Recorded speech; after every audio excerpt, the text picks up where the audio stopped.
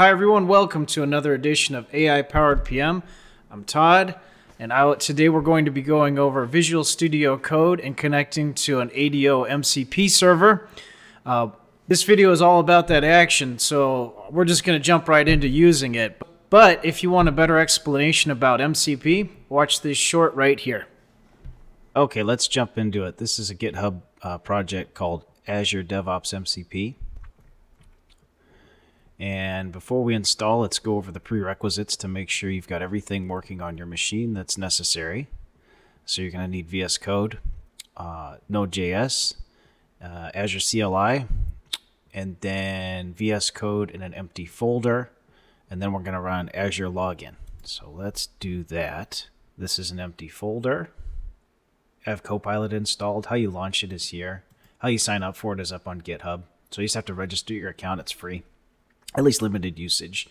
Um, but anyway, that's this is where we need to be at. So let's go to the terminal and let's log into Azure. That's my account. And select your subscription. Okay, what's next? A one-click install. That sounds pretty good. Let's try that. All right, let's try this at the command line. All right. That's great. Now let's do the rest of this manually so I can show you how this works. Um, we're going to need a few different folders here. So let's do a new folder. This one will be .vs code. Okay, VS Code. And let's do another, oop, not there. Let's do another folder. And this one is going to be dot GitHub. Okay. And in the VS Code, let's do a new file. And let's call this one mcp.json. And then in GitHub, let's do a new file. And we will call this one copilot instructions.md. Now let's go back to the GitHub project and let's copy in these values. So this is for MCP. Okay, and let's save it. All right, and then let's go to the Copilot instructions file. And we'll uh, add it. And then I'll just look at it real quick. So it's what are its instructions? It says acts like an, an intelligent coding agent assistant prompt for resources um, prioritize DevOps MCP server tools add new tools if you need. Okay so pretty pretty basic but you can always come in here and customize this prompt if you want particular behavior. Like I've seen people do it to where they specify that they want the output to return like in a table format. So, you know, we'll leave it for default for this particular demo, uh, but you can always come in here and change it. That's sort of the power of it.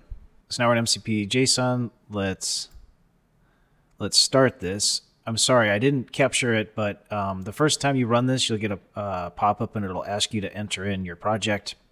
It looks like since I did that, it updated the configuration file so it's AI powered PM1.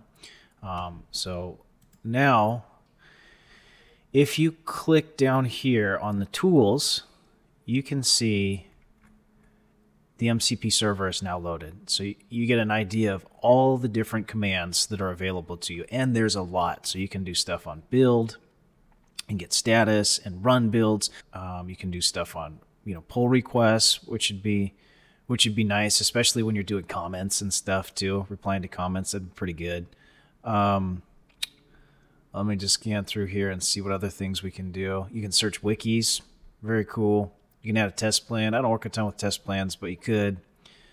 So let's uh, let's do a few things. Let's ask it, what are the common things you can do with Azure DevOps MCP?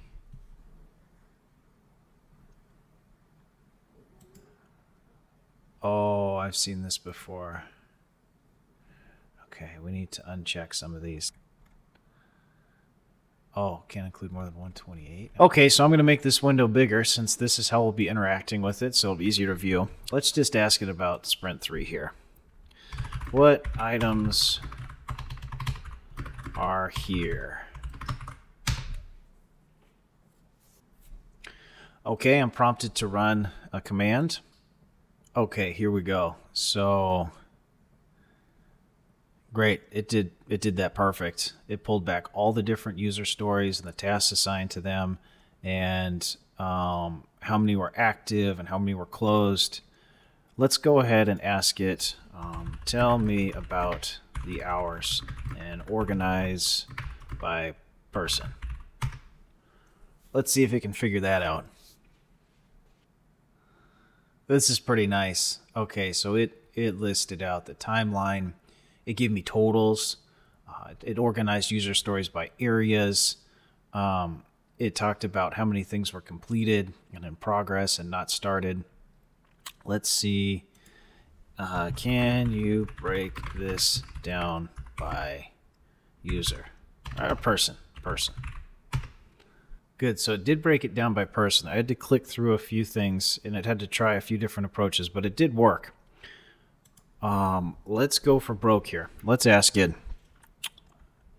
Show me the work broken down by out by users, by pre, by person, and the hours.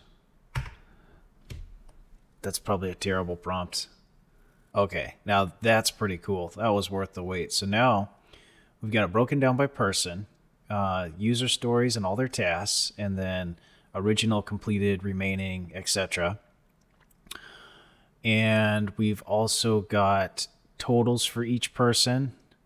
And my favorite part is this completion status. So this is great. I would have messed up doing this math. And I can't tell you the number of times I've wanted to generate a report like this. But I know there's built in uh, dashboards within ADO, but this is so nice to be able to generate on the fly.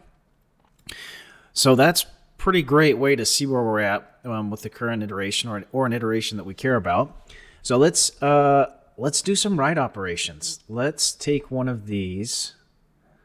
Uh, actually, make this easier. Can you include the IDs in this format? Okay. I'm just making it easier for our update here. So let's pick on this task 31. Um, the original estimate was five hours. Um, the remaining is three. We've completed two. So let's say for task 31, please update completed to zero, or sorry, five, and remaining to zero, and change the status to completed. Let's see. Oh no. I've reached the end of my monthly chats. That's how it goes in demos sometimes. I'm not willing to pay for the pro plan. I'll have to wait a few hours or something. Uh, so if you go back through the history, this is task 31, and it shows that um, you know it went from active to closed the remaining work got updated. Same with the completed work. So uh, it, it's under my credentials. So it worked, which is good because we're out of credits. So I got to tell you, that was pretty great. I was very excited to use this product. There was a few things like you can only have 128 commands, whatever. You know, that's fine. I can live with that. But overall, um, I think it's awesome you know, this is how I'm going to interact with ADO going forward. I've got a small project. It's got two configuration files. I can open it up, and my front end can be an AI that I work with. And then not only does it just, you know, do read operations, but I can put it in agent mode and have it do stuff for me. So I view this as something that will be a force multiplier for me. And I think I'm just going to get used to working with ADO uh, in this manner. Thanks for watching, and I'll catch you on the next video.